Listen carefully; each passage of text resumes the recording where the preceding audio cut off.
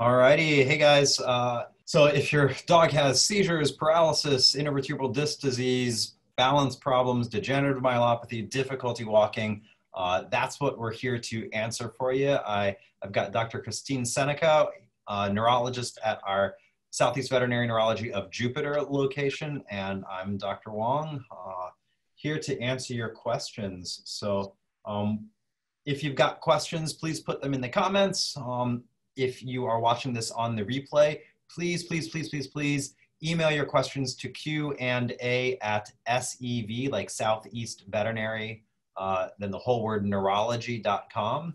Please don't call the office if you're if you're just looking to have your question answered. If you're looking for a consultation and want us to evaluate your pet, absolutely call one of our offices. Um, so put your questions in the comments. Um, and uh, Dr. Senneca and I will will get to the questions now. Hi, Denise. I can see you, and it says that you're connect. Oh, says you're connected to audio. Perfect. Yes, Hello. I am. Hi. Can you hear me? You can. Okay, good. So, uh, Denise, are you able to flip your phone to go? To, oh, oh, you're talking to me. Yes. Perfect. So, so, so, tell us about Bing and uh, uh, where, where, you're, where you're, where you're located, and what your question about okay. Bing is. So Bing is uh, will be 13 years old next week. Um, in January, he had his first grand mal seizure while we were in California. Um, he followed that with another grand mal seizure towards the end of February we brought him to a neurologist in California and decided to have an MRI done. Uh, the MRI found a um, uh, olfactory right side meningioma, cystic, I guess, meningioma.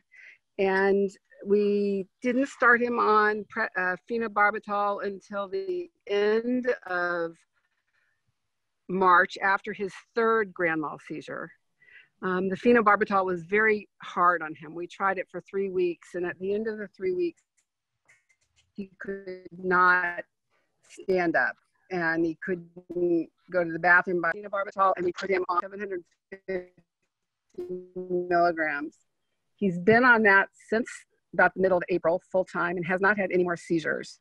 Um, we've since moved from California to Massachusetts, and we've checked in with a different uh, neurologist who agreed with the MRI findings.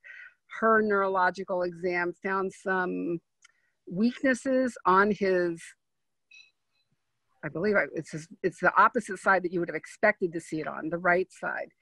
So what we're seeing now is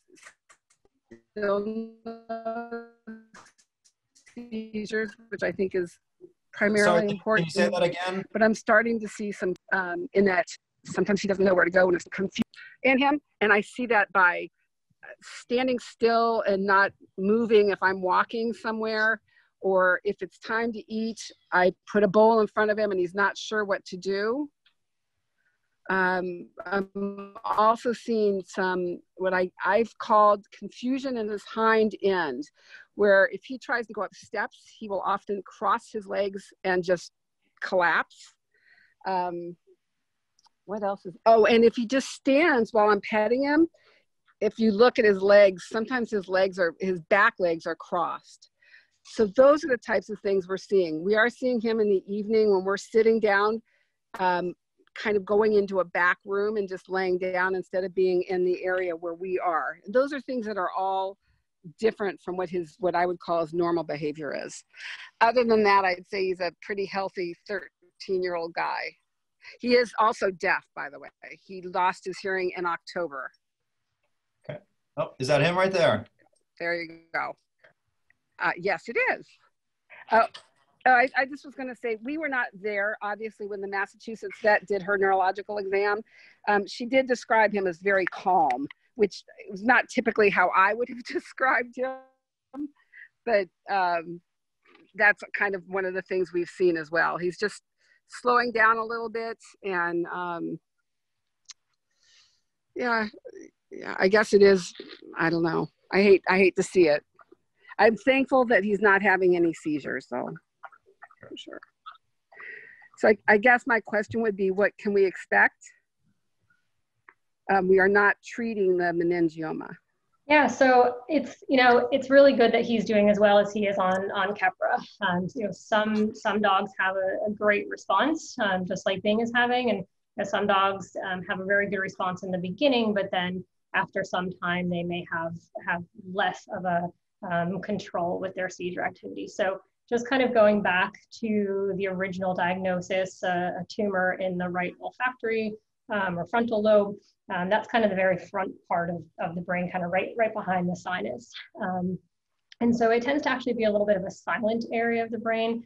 Um, so which is why we tend not to even find these until dogs are even are having seizure activity. So some of the things that you're describing um, don't make quite a lot of sense, you know, especially the crisscrossing the back legs. You know, that's just not something we typically see with um, what we call a forebrain tumor in dogs. So a proprioceptive deficit, you know, when they take the paws and they kind of turn them upside down on the ground, which I'm sure um, both neurologists have done, and then correcting that, um, we can definitely see those, those deficits uh, with brain tumors in dogs. However, as you said, we would expect that to be kind of on, on the opposite side of where that tumor is. So, so my question now, if you are seeing it on the same or what we call ipsilateral side as the tumor, is it because we have uh, potentially growth of that tumor? Um, are we now affecting the other side of the of the brain? Is there potentially some brain swelling? Because um, you know this was done back in March, so now we're kind of several months down the road here. So have we had growth? Sometimes these tumors um, can kind of sit dormant for a little while and then and then grow a little bit more exponentially. Um, so so my question is, are we affecting the other side of the brain from the tumor, or are we dealing with something entirely different, potentially even in his in his spinal cord? Um, and so when uh, we had gotten your question, there was a report of him having that deficit in, in a front leg as well. Um, and so that would make us worried, is there something actually going on in the neck?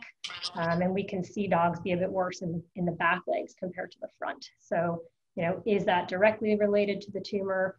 Is it is it something else? You know, to answer your question about you know, what can we expect if, if we're just dealing with the, the meningioma, um, these tend to be fairly slowly growing tumors. Um, you know, how long was it there before we, you got it diagnosed? That's hard to say. It's, it's very impossible to know that. Um, so considering he's doing as well as he is, you know, this many months down the road, I, I think, you know, I think that's really, really positive. Um, but the expectation is going to be that, that that will grow. So without any sort of surgical intervention or radiation therapy, uh, there is nothing stopping it from growing. So over time, you will start to see things like more seizures despite medications.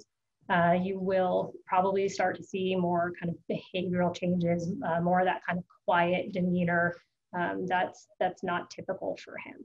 Um, the visual changes again, that where this tumor is, um, it doesn't quite fit uh, with, with what we would expect. We wouldn't really expect a, a visual deficit uh, considering where that is. Dr. Wong, if you have any other thoughts, let me know. But that's, that's a little bit strange to me that he may not be, you know, kind of seeing his food. So is it truly a visual deficit or is it more of um, kind of understanding and processing of, of where that food is? That's kind of what I think. Yeah, that was my thought process as well. Is, is it is it not so much that he's not seeing it, but he's not acting appropriately or you know putting it all together.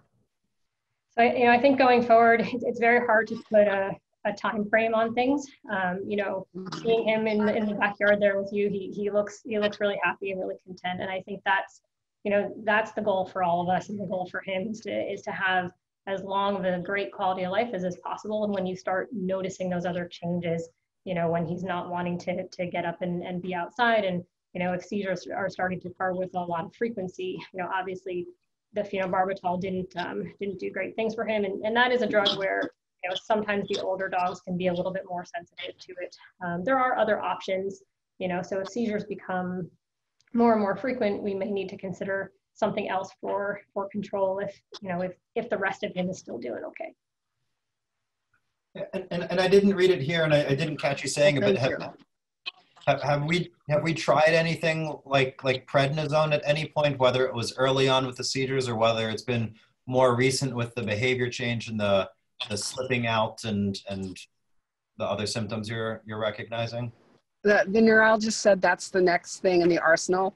So if he continues to deteriorate, then we would add the uh, steroid. So that would be the next step.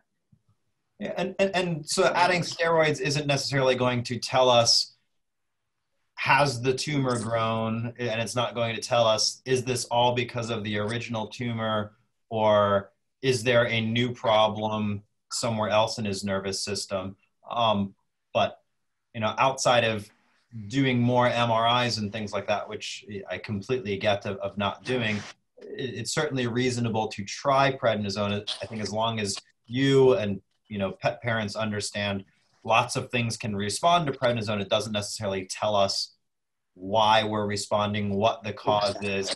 Doesn't really give more that doesn't answer all the questions you've got here of what does it mean for him long term but many times it can just just help yeah so that that would be the next step. So and then and we would consider a second mri but i don't know that that if we're not treating the meningioma i'm not sure that there's value added to a second mri yeah i mean it's it's it's good information to have. It's it's good for you know kind of closure of you know where are we at now and we expect things but again we we want to treat the dog and not the picture um, at this point and you know even if that tumor is grown two or three times the size if, if he's still you know doing what he's doing in front of you there um, that doesn't necessarily change what we would recommend as far as you know treating him and you know i do think prednisone is probably a a good option, getting some blood work just to make sure that, you know, his, his organs are in good shape to, to tolerate being on some steroids. Um, but he, he looks pretty happy there. Okay, guys. Well, thank you. You got it. I appreciate your time very much. Sure thing. And enjoy, enjoy fall in the Northeast. I'm from up there. So enjoy it. It's going to be really pretty. It'll be our first fall up here. So we're looking forward to it. Good. Thank you. All right. Bye, Denise. Bye. Bye. All right. I'm gonna sign off. Bye. Uh, so the the we've got a couple questions here that are kind of asking um, for dogs with epilepsy. Are there any particular diets that you recommend, or any sort of dietary uh, changes that that you recommend? So, I mean, recently there's been, you know, the literature that's come out about medium chain triglycerides that these could potentially help with epileptic patients. Um, I certainly have uh, you know, talk to clients about, you know, potentially starting the Purina NeuroCare diet, um, which is high in those medium chain triglycerides.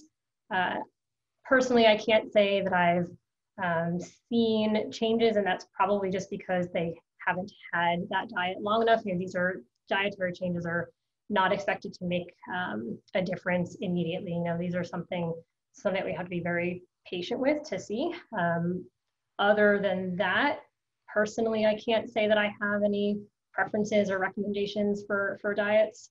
Yeah, I, I agree. I mean, we we, we kind of get this question frequently. It, you know, probably every every week or every other week.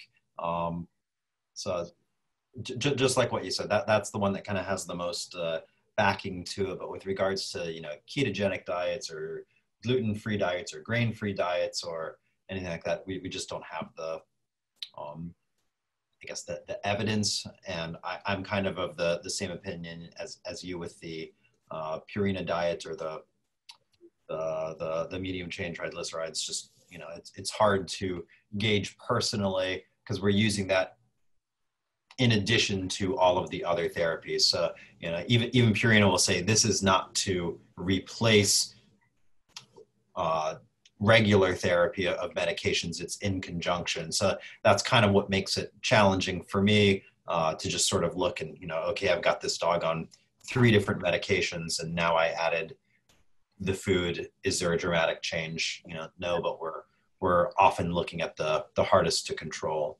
yeah and it's also you know that diet at least in their studies was used for, for epileptic patients not in dogs that had structural brain disease. So, you know, tumors and meningitis, uh, they weren't looking at those cases. Um, but, it, you know, again, it, it, like a lot of things, it, to me, um, that kind of adjunct therapy is not going to hurt the patient. And if we can get any benefit out of it, you know, I, I think it's reasonable. Okay. Um, I, I guess I, I, did want to throw it out one more time um, for those of you that may just be, be popping in right now. Doc, Dr. Senneca, as she alluded to when we were talking to Denise, uh, she's recently moved from the Northeast, but now she's at our, our brand new Jupiter location. So, um, happy in Florida.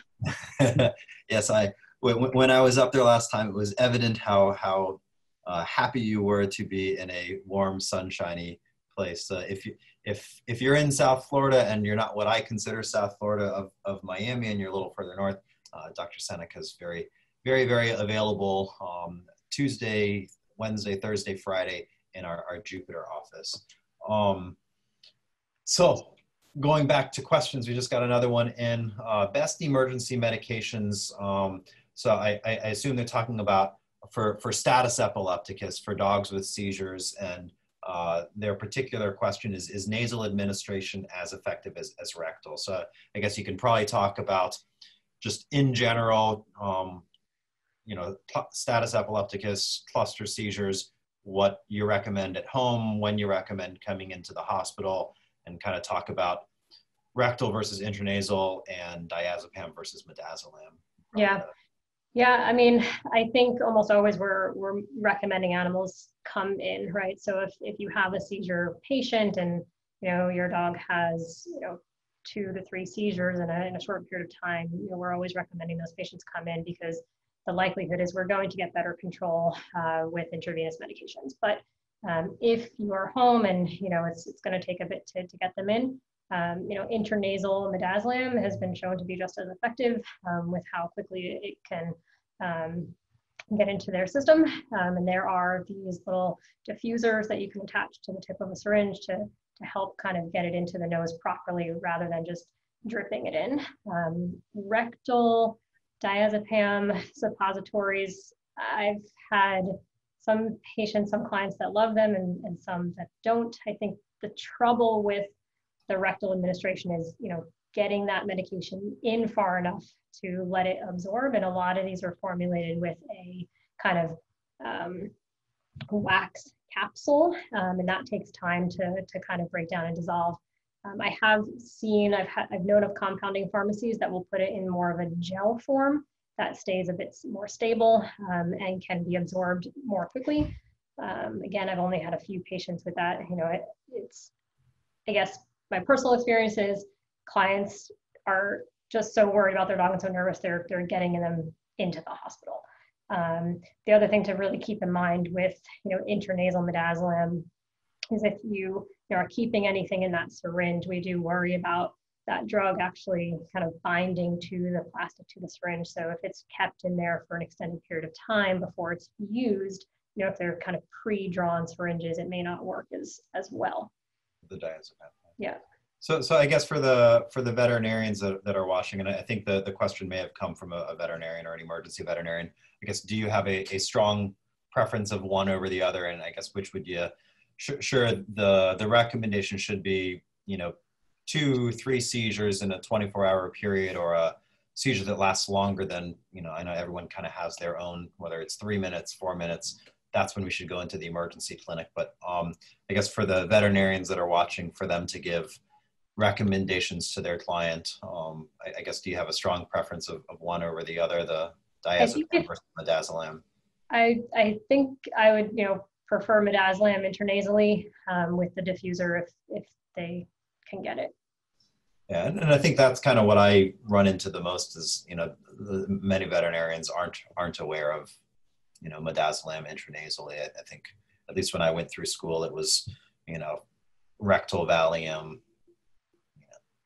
or intranasal Valiums. Uh, I, I, think that's still new to some veterinarians of the intranasal midazolam. Joy's to be a little late, so okay. Yeah, I, I, think our, our 120 says she's going to be a little late, so we'll do a, a couple more questions. Okay. Um, uh, Marguerite says, can you give the rabies vaccine to a dachshund with occasional seizures, and should I pre-treat with Benadryl?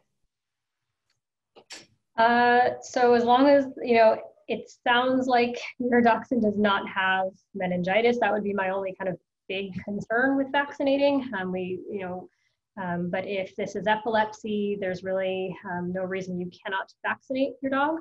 Um, and giving Benadryl, um, you know, really is more for the kind of um, allergic reactions of facial swelling and hives and things like that, and, and, wouldn't be expected to to prevent any sort of seizure activity. But um, if the dog has been vaccinated in the past without any issue, I, I wouldn't I wouldn't worry about it causing a problem um, in a dog with epilepsy.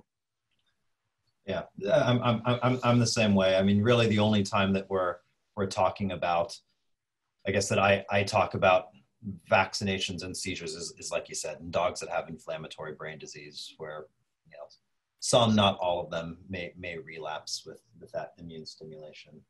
So the the the question kind of I'll, I'll, I'll take this one. So, so Melanie says, I, I, tried to get the nasal midazolam here in Kansas and was told by every pharmacy it would be around $600 um, when I do see others that get it far cheaper. So I, I, I don't know off the top of my head of, you know, which pharmacies are, are uh, more expensive or less expensive.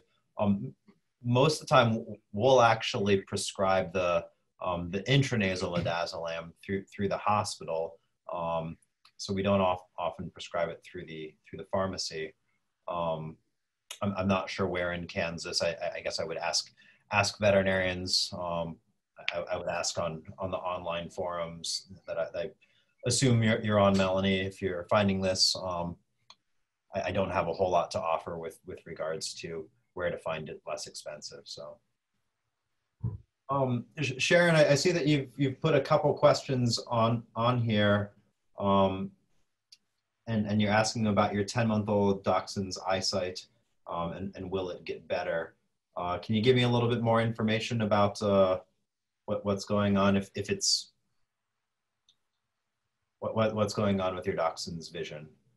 All right, just while we wait for, for Jody to get here. Seven Synapse uh, for veterinarians that are wa watching this October 4th. Uh, we're, we're, it's five hours of CE Sunday, October 4th um, that we'll be we'll be giving. If you email uh, to Q and A at sevneurology.com, they can give you all of the information for that.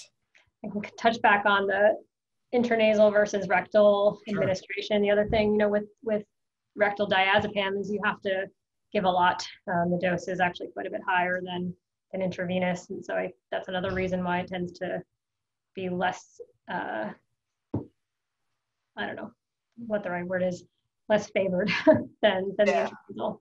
I, I, I agree completely. I mean, kind of in, in, in my schooling, that's what it was that, you know, we gave uh, rectal Valium and then kind of through my residency, that's still what we would talk about, but just practically it wasn't very useful for all the reasons that you said, you know, one we're sending a controlled controlled drug home that's you know in an injectable form two when we put it in plastic you know it, it binds to to it so we we wouldn't actually be able to send something home from the hospital. Uh, the valium suppositories the diastat just that was always really really expensive for clients to get. Um, and you, kind of talked about the, the, the compounded gel. Um, at, at, least you know a, a, long time ago i wasn't as uh, confident of, of what was actually you know in, in the compounded uh, compounded gel for, for rectal suppositories. So um, i always when clients would ask about it you know i would give them that those sorts of options i can mm-hmm. you know give you the prescription for this it's going to be more um, or i can give you the prescription for a, a, a gel um, but I don't know necessarily what it's going to do. Yeah. So, what its efficacy will be. So, uh, Jody is here. Hello. Hello. I think she's still there. You are. You're connected. Mm-hmm. Hi, Jody. Can you hear Hi. us? I can. I, I, it sounds like you've got a pack in the back there. What's that? I do. I have two of them. Okay. So you've got Maximus, uh, a six-year-old French bulldog. Yes. Okay, what's going on with Maximus? Um, well, he has had worsening spinal weakness and um, has started to become incontinent lately. And he was diagnosed with um, SAD, I believe it's called. Okay. Um, so that's kind of where we're at right now. So, so what, how did his symptoms, um, how did his symptoms come on? Like what were his initial symptoms? How long have they been going Mm-hmm. on? Did they It come on suddenly or slowly? It was really slowly. It started with him just his one of his back legs would slide out occasionally on the floor, um, and then it started progressing to um, just more issues with his hind end, just kind of wobbliness, Okay. but never any pain or anything. And uh, somebody told me that it might be a hip issue, like hip dysplasia. And so when we got that checked out, that's when the vet mentioned the possibility of IVDD and said it was something neurological. Um, so when we um, pursued that, he did a CT with myelogram, and that showed a worse spinal issue than he understood really, and he didn't think surgery was um, would have been beneficial because we were going to go right into surgery after that. Um, and since then, I have seen another neurologist in the area to get a second opinion, and she agreed with the um, the spinal compression that is more complicated and doesn't really have a good surgical fix. So, um, I, I guess there are a couple things to, to, to, to chat about here. I mean, one, one point to make that um, I guess is less for you, but is for other people that are watching right now is, um, you know, uh, lots of things can look the same as a slipped disc. So if you told me six-year-old French bulldog with rear limb weakness, yeah, the most common thing that we see that can cause weakness and wobbliness in, in the rear limbs is a slipped disc. But there are other things, as you found out, things like meningitis, myelitis, or inflammation of the spinal cord, things like uh, tumors. Even in a six year old French bulldog, occasionally we see tumors. Things like degenerative myelopathy, we usually see in kind of older large breed dogs. Um, things like spinal cord strokes, and then occasionally we can see a, a, a malformation. Um, certain malformations are more bone related, certain malformations are more spinal cord related. Um, it sounds like what you're describing of a, um, th- there are actually lots of different terms that we use to, uh, to, to name this condition, but um, Mhm. subarachnoid diverticulum or spinal Mhm. arachnoid, spinal arachnoid diverticulum. Um, So those are the same thing essentially. so uh, there, there, there isn't a, I guess a consensus on, on what exactly we're, we're calling it. Some people call this pug myelopathy and that it's most common in pugs. Uh, one of the earlier papers that came out on the, the condition called it um, facet hypoplasia, um, mainly seeing the, the bony abnormalities. Mhm. I, I, I, I think the reality is that we don't really know exactly what causes it. So it's, um, I don't know what's been explained to you, but it's a, we, we see this fluid pocket or fluid dilation in the space surrounding the spinal cord that normally has fluid in it. So the subarachnoid space, is that him? That Maximus? Yeah, he's whining at my feet, so. So- Hey, Maximus. So, I, have you seen the CAT scan? Has anybody shown you it, or Uh, yeah, a little bit, but I, I couldn't really tell what I was even looking at on it. sure? So, so the, the spinal cord is kind of surrounded by by fluid or cerebral spinal fluids, uh, CSF. Mhm. And in this condition, one of the, the things that we see on the imaging, whether it's a CAT scan myelogram or whether it's an MRI, we'll see kind of this pocket of fluid in that space that fluid normally is, but it's it's just mm-hmm. dilated. It's much bigger. Instead of this real thin area, it's kind of this big pocket that presses on the spinal cord. And the classic symptoms that we see, it's usually older pugs, but probably the number two the number two breed that we see it in is, is a French bulldog. We just commonly see it in the squishy face breeds. I, I've seen it in a handful of English bulldogs and a handful of Boston Terriers. And usually these dogs aren't painful. Usually it's kind of this insidious onset, like you said, it kind of comes on slowly and progressively. Mm-hmm. Many times they have urinary or more commonly fecal incontinence, like you've described with Maximus, where it's not so much that he doesn't know and he's always having accidents and he can't poop, but more often what I what I hear is they they know they need to go, but they can't hold it long enough to get outside. So many times it's I gotta go. I- I'm at the front door waiting to go out, but I can't hold it long enough. Yeah, he he actually will go in his sleep sometimes, and it wakes him up, and he acts surprised, like he doesn't didn't even know it was happening, and um, so that's been like the newest struggle. we, we, we don't know exactly why it happens and, and it's Mhm. likely multifactorial so there's there, there's likely a genetic uh, genetic factor since we see it in certain breeds there's likely a genetic factor um, Mhm. oftentimes what we find at surgery or if you know the patient passes away and gets an autopsy or if there's a biopsy um, we, we just find for lack of a better term a, a scar tissue at the around the spinal cord that kind of I don't know if it blocks the the flow of the fluid or if it just changes the the dynamics of the fluid flow. So instead of that CSF kind of running in a nice like a nice trickling stream, it becomes more turbulent, like a, a you know a, a, a whitewater rapids or whatnot. So we, we don't really know exactly what happens there. Many times there's also just instability. So at surgery or on the imaging, we can see there's oftentimes a mild disc bulge there, and sometimes Mhm. there's new bone formation, what we call spondylosis deformans, Mhm. suggesting that maybe there's a degree of instability there.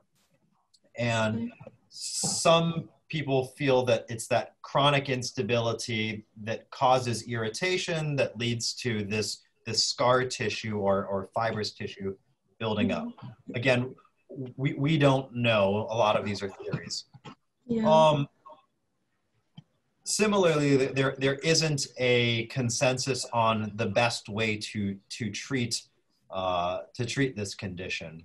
Mm-hmm. Um, in general, dogs that I've treated with medications or physical therapy or acupuncture or just rest, I Mhm. don't see them get better and they do continue to get worse, but it's usually a slow decline. So it's not that they go like our slip disc dogs where they're walking one day and they're paralyzed the next. So Yeah. we usually don't see that sort of thing, but it does get worse over time. So for for quite some time I've I've tended to recommend surgery for this condition. Um, but it's not like a, a slipped disc where lots of people do it and we do it every single day and you know we quote a 95% chance that we're going to fix things. I, i'm much more um, conservative in the prognosis that i give. One for it helping and two for the long-term prognosis.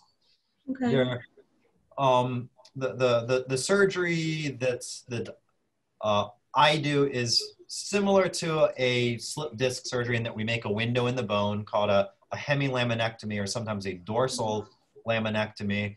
And i often or i i always uh, do a, a procedure called a durotomy so that we can get to where that scar tissue is and sort of break it down. So it's it's a little bit more invasive than a regular slip disc surgery, so it carries a little bit more risk um, and it's a little bit more challenging. The other part of the surgery, for me at least, and you know when I talk with other neurologists, not, not everybody does it this way, but I, I tend to stabilize the bones of the back just because I feel that there is that micro trauma or that micro instability. So part of the treatment for me is stabilization Mhm. again there's no consensus so if you ask you know 10 more neurologists you'll probably get you know at least seven different different opinions on it Mhm. And um, some, some people, you know, also talk about doing something called marsupializing. So that kind of covering of the spinal cord is pretty, pretty firm. And once it's opened, you can potentially kind of tack those edges back down to itself. So, you know, it's, it's very kind of fine work. And that the, the goal of that is to prevent it from really filling up again. Um, but the question is, you know, will it, will the body still put down more scar tissue? And Mhm. that, I think that's what we see. So with this surgery, with this type of surgery, is it to um, delay progression of the symptoms with the mobility and the incontinence, or um, is it really not going to do very much for them. Because what I'm wondering, um, compared to IVDD, because IVDD seems much more prevalent and people seem much more aware of it and what happens with it, but with Max, he has never had any pain, and that was kind of the big difference I noticed. Everyone that talks about IVDD says pain is the number one thing they see, and since he hasn't had that, and he is still mobile, um, and it's the incontinence that's the issue, but as far as quality of life, his quality of life is still really good. So I'm just trying to weigh the risks and pros if surgery was done, could it really improve his life very much or not likely? Yeah, and, and again, I think this is where you'll you'll get you know di- different uh, opinions. Kind of mm-hmm. my talk on this. Uh, some of it depends on. I don't think anybody knows the prognostic indicators of which dogs are going to do well and which dogs are not going to respond um, mm-hmm. to, to, surgery. I, I, I do think um, for me, the duration of the symptoms in general, dogs that I've operated sooner have had a better long term outcome. Mm-hmm. And then the size of that dilation, uh, my opinion, and, and that's all it is, is the, the ones that I've seen that have had a bigger pocket tend to do better with surgery and tend to respond faster and stay better longer. Mm-hmm. Most of these dogs I set my, my, my clients up that most of them are going to look worse temporarily after surgery just because of the mm-hmm. nature of the surgery and the manipulation and going through those protective um, protective coverings of the dura mm-hmm. most patients look worse immediately post-operative so a dog like max that's walking but he's wobbly you know many times they're not walking the day after mm-hmm. surgery and um, but usually by the time they go home again for for my personal experience, usually by the time they go home, they're they're walking um, and they're kind of back to where they were before. Um, obviously, the hope in us doing any any surgery is to make something better. Um, yeah. So that's our goal, but I set up clients um, that there's the potential that yeah, all that happens is we stop progression, um, and it's hard to prove that in, in a dog of well gosh what would have happened in in max in particular if we didn't do anything mm-hmm. versus if we did surgery um, so what i can tell you is most dogs that i don't operate on and i follow them i do see them get worse some dogs that we operate on we follow them and they still get worse. Some dogs we operate, um, they get better and stay better, and some dogs that we operate operate on, they get better, and then a year or two down the line, they start showing symptoms again, and that's probably because what Dr. Senneca was saying is, well, does the scar tissue just come back, and and we get that that pocket again? That's one of the reasons that that I tend to stabilize these because I I I hope that it causes less uh, instability and less new scar tissue formation. Um, Another important question, thing. Sorry, go ahead. You finish. Uh, the, the, the question that, that you had is the question that literally every every owner has is you know well mm-hmm. gosh he, he, he looks pretty good right now. You know it's not terrible. I, I would do it if there was a guarantee that it was going to fix everything but I don't want to put him through something if it's going to be the same and i don't want to put him through something if it's going to get worse. And that, that to me is the challenge uh, for us coaching for us coaching parents. Um, I, I guess one of the challenges that, that i see is many times for me at least it's older older pugs uh, you know uh, max being six years old you know that would be one thing that would sort of tilt the scale towards considering surgery. Again, I'm not making that recommendation. I can't make that recommendation without seeing him, without looking at the CT myelogram, et cetera. But mm-hmm. age is one of the other things that I factor in. If it's that 13 year old pug, it's a lot harder for me to, you know, if it were my pet, say yes, I'm going to to operate. But you know, at, mm-hmm. at six, he's got a lot of uh, life ahead of him. So mm-hmm. I hope so. So just what I was going to add is, you know, something, you know, CT myelogram is, is, a, is a good test because they're kind of putting that contrast agent, that, that dye, if you will, mm-hmm. kind of into the space where the spinal fluid flows. And so we, we can see these pretty easily on a, on a CT myelogram. Um, but I think, you know, before considering any sort of surgery for him, um, we would want to do an MRI. We would want to actually see what that spinal cord looks like. Because if there are other changes, you know, that Mhm. suggest that maybe there is long-term kind of damage there, that may also kind of tip, tip the scale a little bit. Um, Yeah. and so you can get a better assessment of, of kind of the, the entire spinal cord and see that, that diverticulum as well. And so at least, you know, for me personally, that, that is something that I would want to have before going in. Do you, do you know what, what area of the spine, what kind of level they, they said it was at? Um, I do. I'd have to see if I could. Maybe I can just put it on my phone. We tend to, to see these kind of towards the end of the, the, the rib cage, uh, lower thoracic spine. Yeah, I know it was uh, further back. I want to say mid back or lower. And um, while I'm looking this up, with this condition, I am wondering too, does it eventually always lead to full rear end paralysis? If not uh, treated with surgery? I don't know that we can say that it always leads to that. Um, you know, and again, I, I think the vast majority of dogs are actually much older. Um, and so I think a lot of times something else is coming up in, in their body, you know. Um, Dr. Wong, I, I don't know if, if you agree. I, I feel like I haven't seen a lot of dogs actually be totally paralyzed from this. Yeah, so I I um sorry, I was multitasking there. So I uh I usually do not see these dogs become unable to to walk. Um so usually they're, they're still ambulatory. In in fairness, you know, I'm usually not following them out five, six, seven years. Um I, I'm I'm on a, a couple different uh, forums online where you know we do see these pugs that are in wheelchairs you know or, or, or need the, the, the drag bags and things like that.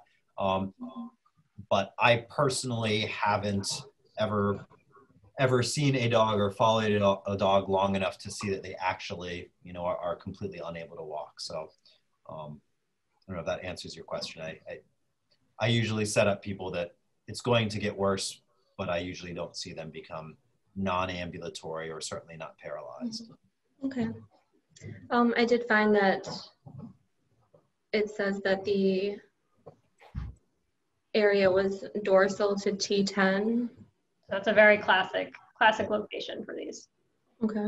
So again, that that doesn't necessarily change change anything about what we would do, but it would be Yeah. very easy to, to be able to see the spinal cord with an MRI and Mhm. see if there's any changes actually within the the, the tissue of the spinal cord. Yeah.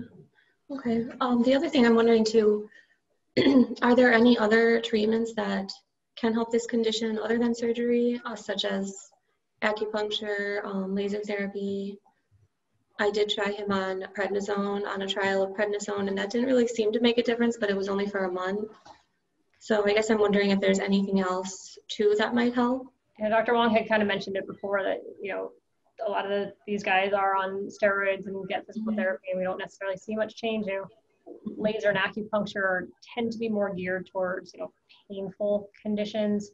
Um, Okay. so I'm not sure how much of an effect those would have on on for Max, but you know Mhm. I'm I definitely like physical therapy. I think it helps kind of maintain um, their you know their strength as much as possible. So, but Mhm. other actual medications, I, I can't say that that we have anything.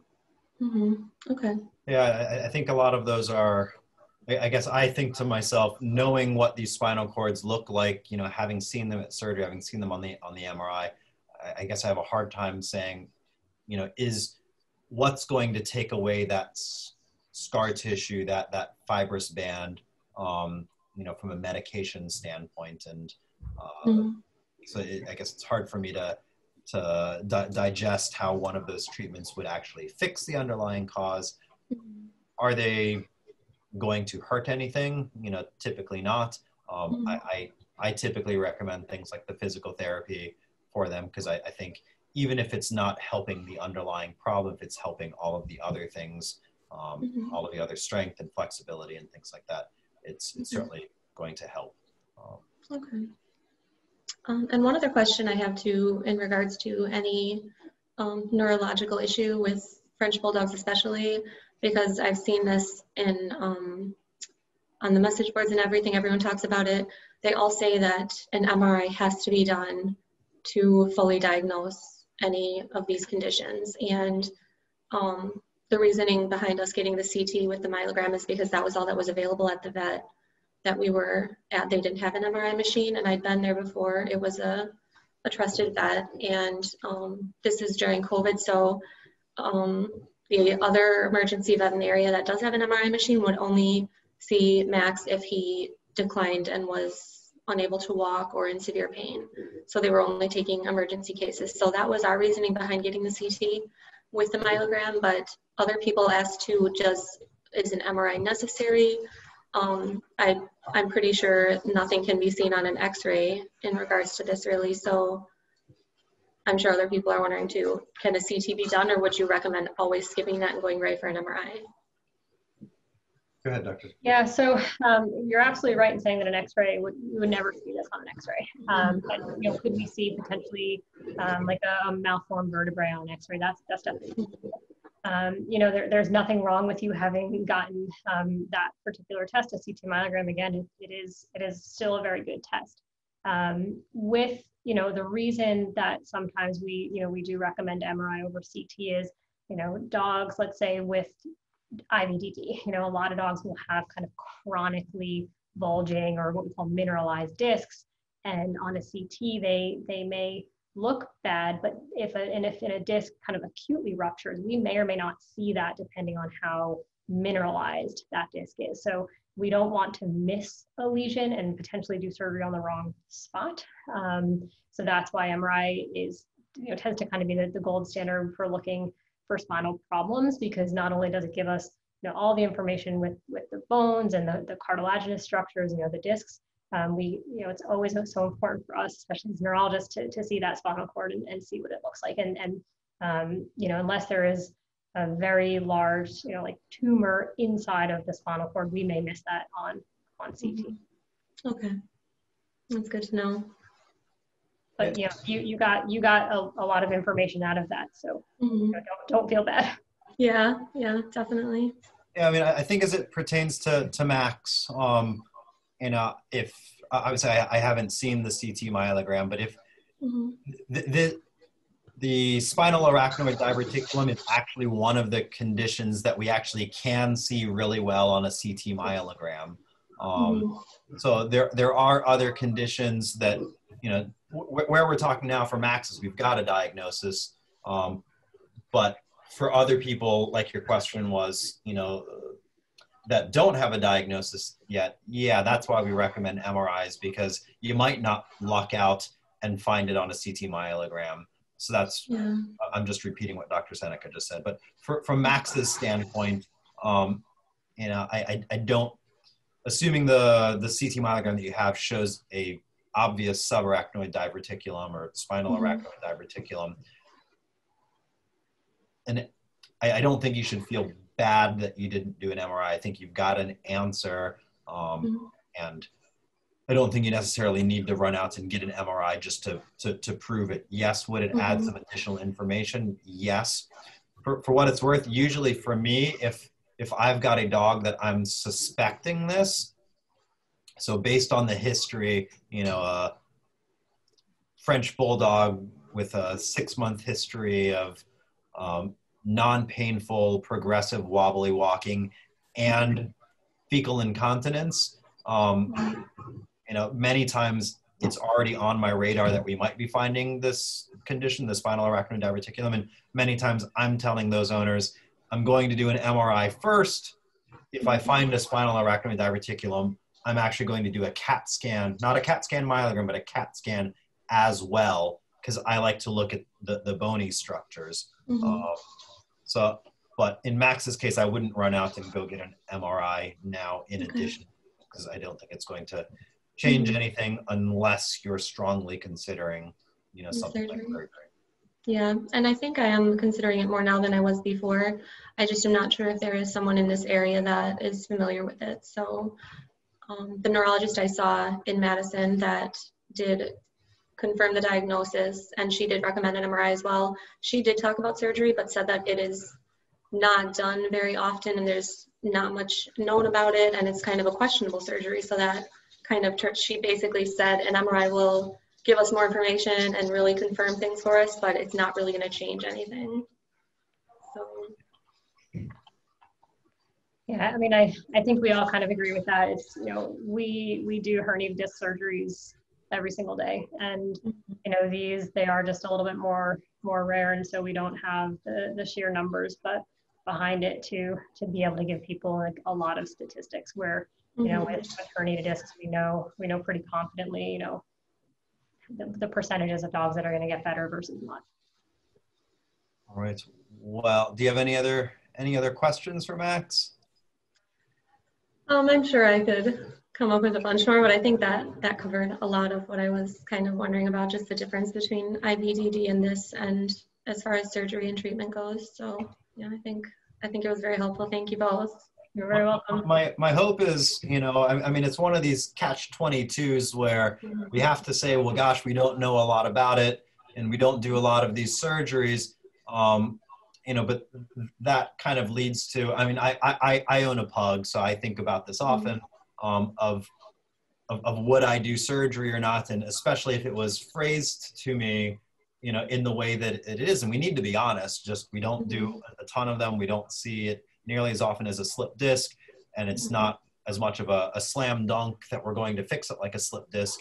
Um, but that sort of leads to well, we just don't do the surgery as often, which leads to when we're when we meet the new person with it, we still have to say, well, gosh, we don't do them a lot. So my, Yeah. my hope is, you know, in the future, uh, we'll we'll have more studies, more experience, and you know, and, and, and better, stronger outcomes where we can say to a client, you know, yes, there's an 85% chance that your dog's going to do great with surgery, but only a 50% chance if we do medications and, you know, so, but we're, we're not there yet. Yeah, exactly. For what it for what it's worth, it's definitely been a topic of discussion at at a conference a few years back. You know, where this was a, a, a discussion that that we had as a group. So you know, we're we're mm-hmm. thinking about it, and hopefully we'll mm-hmm. get there. Yeah, I hope so too. Okie dokie. Well, thank you. Thank you. All right. Welcome. Bye, Have Max. Hi, Jane. Hello, can you hear me? Yeah, Perfectly. How are Perfect. Gus, Gus definitely just heard you too. Gus, you have a tough life. It's extremely tough. This is what he does pretty much 24 7. He's very spoiled. When, when you first got on, he was kind of stretching and Yep. The sprayer sprawl. So, what, what, what, what kind of, well, how, how old is Gus and uh, what's going Yeah. on with him? So I rescued Gus in April. He is five years old. He's a Springer Spaniel. Um, he is the most perfect dog. He's came when I originally got him with no health issues, clean bill. Um, I had him for about a month, and after a month, there was one night where we had been gone um, on vacation for a weekend. I came back home, and we were sitting on our, my couch, and he had jumped off the couch and was picking his back legs up really funny. And that was like my first indicator. I was like, oh, like what's going on?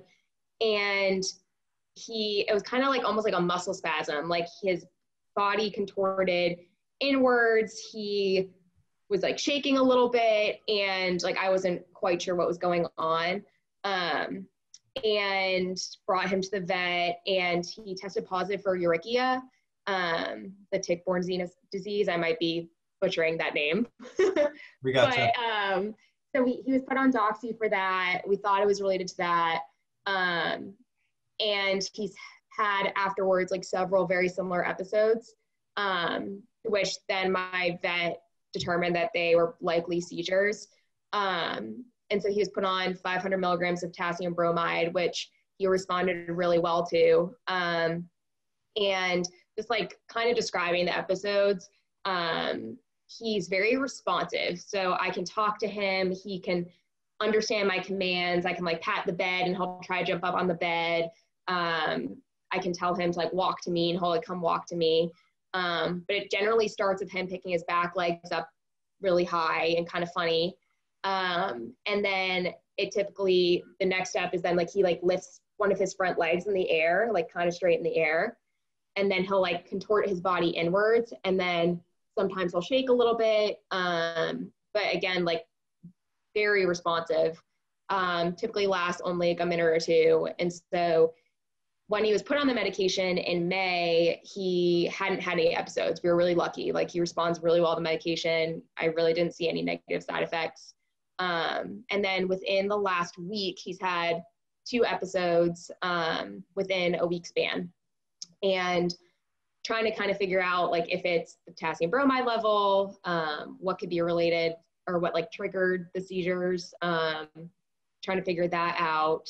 But so we've upped his medication now. He's taking a thousand uh, milligrams, and we're gonna try that for a couple months to see if we can bring his potassium bromide level to a therapeutic level. Um, but I guess like one thing I've noticed too, and I'm not sure if this is related and if you've seen this in seizure patients, is that I've seen, I've been trying to like keep track of any behaviors I've noticed um, that's different. I've noticed a lot of like teeth chattering. So sometimes he will like come, he like always puts his head right on my chair and his like bottom lip will, lip will kind of quiver a little bit. Um, and I noticed it once and like didn't really think twice of it, but then now I've noticed it a little bit over the past month and not sure if that's related to whatever condition he has. So I guess like the what he's currently diagnosed as is like just idiopathic epilepsy. Um, I think I said in the chat that um, I'm in like the canine seizure support groups on Facebook. Um, actually, that's how I found you guys, and I really enjoy watching these webcasts. Um, but some people who have dogs that have CPD, canine, I'm not gonna be, probably have people say this, canine paroxysmal dyskinesia. I don't know if I butchered that. Pretty good. Pretty good. I, I usually have a hard time saying it too. So I'm an accountant, so I definitely cannot say anything medical, but paroxysmal dyskinesia. Yeah, thank you. Um, so I've seen videos of dogs um, that have been diagnosed with that, and it almost looks identical to Gus. Um, so I don't know if that is like potentially what he has. Um, and I guess like my questions for you all is, are you familiar with CPD? And I guess I kind of have a hard time understanding like what the difference between that is and idiopathic epilepsy. Um, and just like treatment plans or just any thoughts you guys may have based on all that. No, that was a lot. So just a quick question, did, did a bromide level in his blood actually get checked before making this change? Um, not before making the change, no, but the last time, so I should have mentioned, so he was on the medication for a month um, in May. And then originally we had thought that maybe it was related to his ehrlichia. And so we tried taking him off the medication to see if he was doing fine, if he would have a seizure. Um, and he, within like a couple days, like he got one. So we put him right back on the medication. But at that moment, they did test his blood level, and his potassium bromide level was really low. Um, and so that's the only like thing that I could. I mean, I'm not a vet. That's the only thing that I can think of that could have changed. Like he hasn't really had a change in diet. Um, he's on a Fromm whitefish and potato diet. Um, he like gets a couple just like supplements, like joint supplements and salmon oil. Um, no changes in exercises. So I don't know what could have triggered the seizures. And, and it was just the fact that two happened within a week and he hadn't had any in two months um, was why I brought, I brought him to the vet on Monday. Um, and that's when they said they would try upping the medication to see if that helps. Yeah, it's, it's, it's tough. So, you know, when you were describing these episodes, seizure, you know, yes, it's definitely possible. And we can see uh, what we call generalized seizures, which is kind of like the, the typical classic presentation of loss of consciousness. They're, mm-hmm. you know, kind of on their side, they're paddling, they're foaming, they're losing their, their bowel or their urine, but, but not every dog reads that textbook. And so we can also see what we call partial seizure activity. Um, and, and kind of very often when it's partial seizure activity, um, the dog may be conscious and perhaps their seizure is kind of a rhythmic movement of one limb or or they're mm-hmm. blinking one eye or twitching one ear. Um, mm-hmm. So what you're describing is involves a, little bit more of the body. Um, so so sure, this this could be seizure, but the paroxysmal dyskinesia, you know, that's what we call a movement disorder. And movement disorders are are very very challenging to to definitively diagnose. Um, mm-hmm. And as far as treatment goes, um, we definitely are limited. So you know, putting him on seizure medication is definitely not wrong um, because some of them some of these dogs will respond to to anticonvulsant medications. Um, bromide in particular, uh, it's just a very slowly acting drug. Um, Okay. So perhaps the, the level was very low when you checked it because it can take a few months for that even to become therapeutic in their bloodstream. Got it. And so, uh, and there is kind of a pretty wide safety margin of dosing. And so it, it will be interesting to know um, kind of where that level gets to. You know, I typically we, we like to check um, a, a level about a month after if, if you make Okay. a change. So, so that would be good to know. Um, but as far as, you know, diagnosing it, a lot of it just depends on, you know, kind of depend on what the owners are describing and what we're seeing, you know, in video recordings and things like that. Yep. Um, and, you know, their response to, to seizure medication. Yeah. Um, I guess like going off of that, have you seen any dogs like with like that teeth chattering movement? Like it's like his like it's his bottom lip like quivers. And I don't know if it's related to it all. With uh, Okay. a movement disorder, you know, with, with any sort of teeth chattering and things like we always want to make sure there's nothing in the mouth that's actually causing pain because that's Yeah. very often a sign of oral pain in dogs. Um, we can see fly biting seizures. Um, Yeah. And often that's that's a more kind of dramatic movement of the of the mouth than just a, a quiver of a lip. So, Dr. Wong, I don't know if you have anything else to add to, to the to the little chattering there. Oh, from the chattering standpoint, yeah, I mean, it, is, is it kind of when he yawns or? No, so he does yawn quite a bit, but as you can see, he sleeps all the time. So I think that's probably has to do with the yawning a little bit. Um, but it's mostly when he's like coming up to me, like he'll, and every time he has an episode, like he is like on top of me. Like I can tell it's coming because like I think he starts to feel it and he just like finds comfort in being with me. Um, yeah, it's not when he's yawning, like it's his when his mouth is closed, it's like just the bottom lip. And the good thing was I was able to get a video of it this week, so I sent it to our vet. Um, I haven't heard back from them. Um, yeah, we're like right now we haven't seen a neurologist. Um, I'm still just going to like our family vet. So like definitely thinking down the road, that's probably like what I want to do. Um, just cause like even just like listening to these calls, like I feel like I learned a lot more from hearing from you guys. Um, but yeah, like he's responding well to medication. Like he does not have any negative side effects from it, which we're really lucky about. And like 99% of his life, he's great. It's just those couple minutes every month or so that we've experienced um, these episodes. So um, from the teeth chattering standpoint, I mean, that, that I, I feel like I, I see that a lot and it's not an actual, you know, pr- problem, so to speak. Um, I, I usually don't find an underlying brain problem, nerve problem, muscle problem, pain, etc. Um, and I, for lack of a better term, I usually don't know what it means. Um, Mhm. I, we, we, I, I also just don't see a lot of these, you know, movement disorders or the the, the CPDs. Um, it's it's I guess a little bit more reported in certain breeds. You know, the Cavalier King Charles Spaniels, they've got their their kind of classic thing that they do, and um, the the Border Terriers with the Yeah. uh, the, the the gluten diets, um, the the gluten allergies. Uh, I I'm not o- aware of of anything in Springers, um, but I don't know if you can help me there, Dr. Senneca. Um, Yeah, I agree. And I mean, Springers are certainly a breed that we see epilepsy in. And Yeah. That's what makes this very tough. We have a breed who we see a lot of seizures in, um, but what you described definitely sounds kind of movement disordery. Yeah. So, you know, like uh, considering how well he's tolerating the, the bromide, um, you know, I think it is worth continuing that. You know, some, some, there's some Yeah. argument that maybe Keppra or levetiracetam may work a little better for some dogs Yeah. movement disorder. So that's another, another option down the road, depending on how, you know, what the frequency is. I mean, the, the good thing in, with movement disorders is they tend not to really impact the dog's, you know, well-being. Um, yeah. No, he's like running around after he has an appetite afterwards. He drinks water. It's like it happens, and then it's like totally back to normal. Mhm. Um, so yeah, I mean, we're extremely fortunate that, like I said, we it doesn't happen often, and he responds well to medication, and he lives a very happy life most of the time. Um, I guess just like as his mom, I just like always want to know like what's going on and like trying to figure out triggers and see if I can get sort of an idea of like when it can happen. Cause like the other thing is I live in Charlotte, North Carolina, and the weather's been changing. Um, that's the only thing I can think of, like environment wise, that'd be different. I don't know if that is a common trigger for dogs. Um, don't know what you guys think.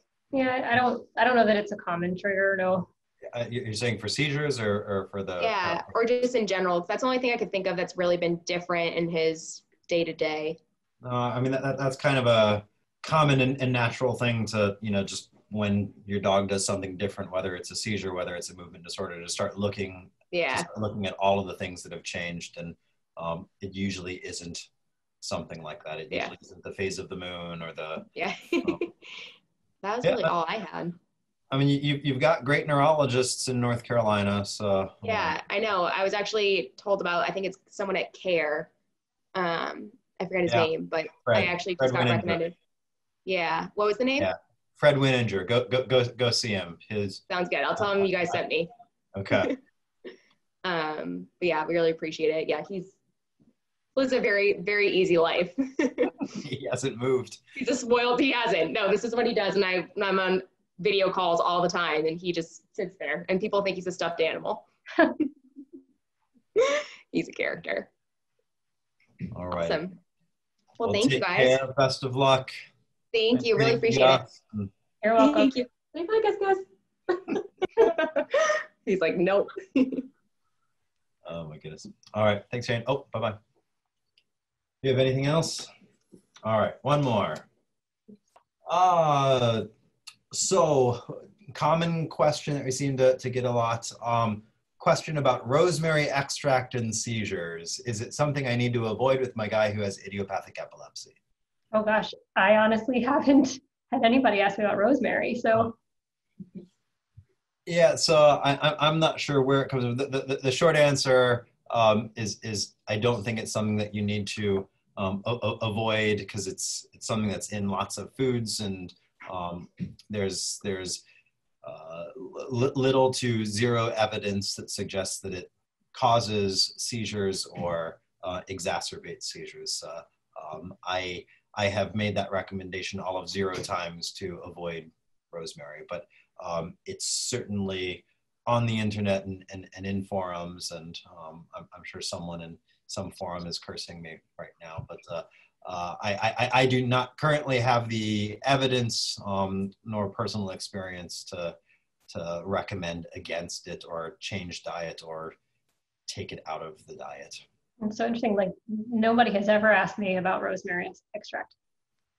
I, I'd say it's only been over the last six months, um, but I, I, I was the same way as you the first time, and I looked it up, and um, you know, very very strong feelings uh, on on on the internet. Um, thanks for hopping on today, and uh, I hope you guys get busy up there, stay busy up there. I'm not sure what the the rest of today looks like for you, but uh, we'll chat soon.